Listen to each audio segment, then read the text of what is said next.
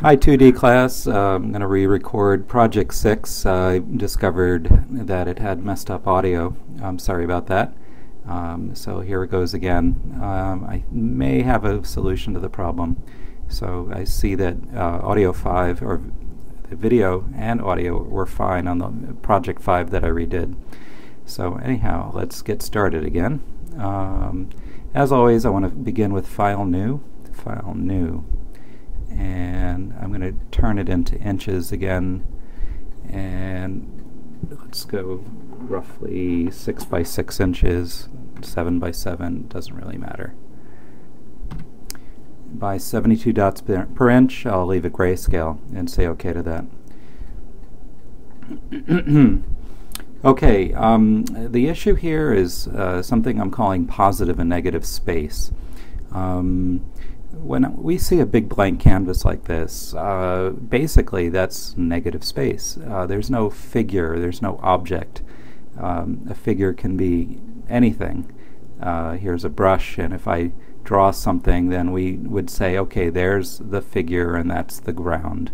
This is the positive space, this is the negative space. Um, Okay, so that's just what it means. Uh, sometimes that can be reversed. If I were to say Control I, then obviously the black is now the negative space and the white is um, the positive, uh, because this is the object, this is the ground, the figure ground. Um, so what I want for you to do on this project is create three different designs that um, have mostly positive space, a little bit of negative space, another one that's 50-50, and another one that is um, uh, mostly negative space and a little bit of positive space. So, and they these three, it's obvious they they contrast nicely. Um, so let me get rid of this. I select it all, and then I just hit the delete key, and I can erase everything instantly. Nice little trick to know about. Um, let's see, I'm going to do this with a letter form. I'm going to, picking up with the last movie, start with a light Edwardian script font. and I will make it uh, 300 points this time.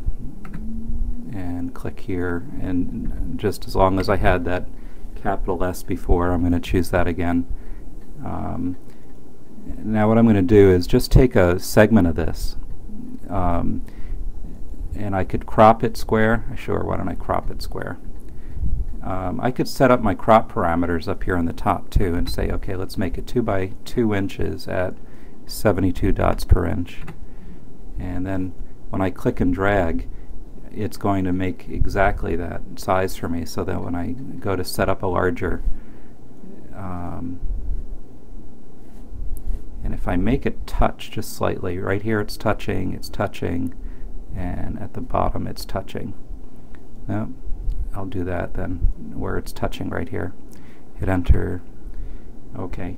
This one will be my mostly negative space and a little positive. In other words, mostly white and a little bit of black here.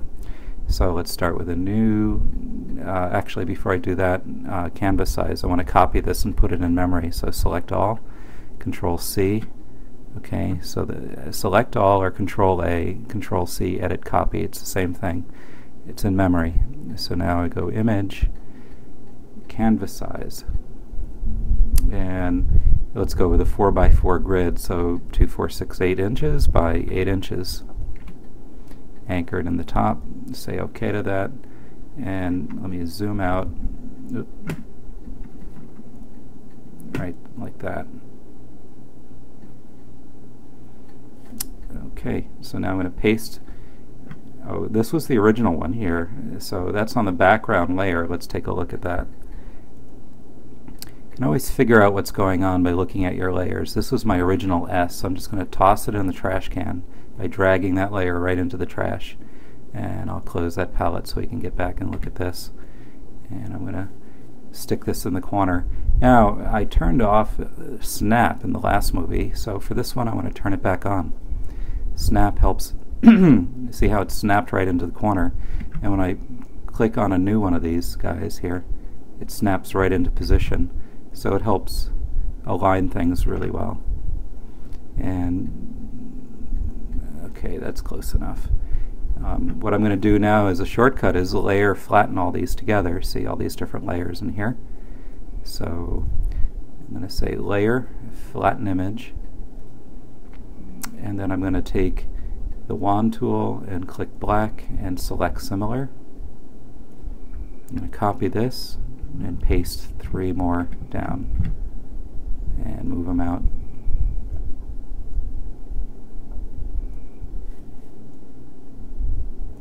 And notice how quick and easy that is. Um, I'm going to let them touch, um, I think. Let's see, if I took off the snap tool again and see what it looks like if I can get these just to touch. Like so, yeah. So I ended up with not an exact square because of the, the fact that I wanted them to touch a little bit. That's okay. I'm going to crop away this excess to the right here.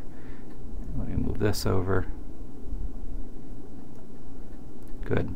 And I'll crop away the excess bottom. So layer flatten image and crop tool this time. I could set this up to 6 by 6 and it'll end up making this a little bit larger. Uh huh. Okay, it's slightly rectangular. So that's fine. Uh, I'd leave that. If you want to get really picky about it, just take away these constraints like this.